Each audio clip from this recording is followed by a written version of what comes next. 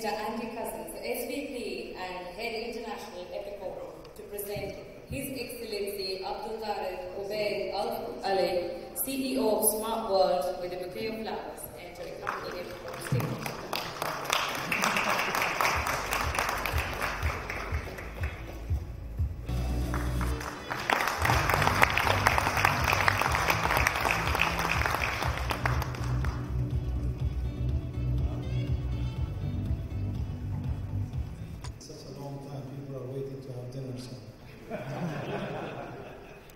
I think uh, one thing to say is a, big thank you to RheinBrücke for this uh, award.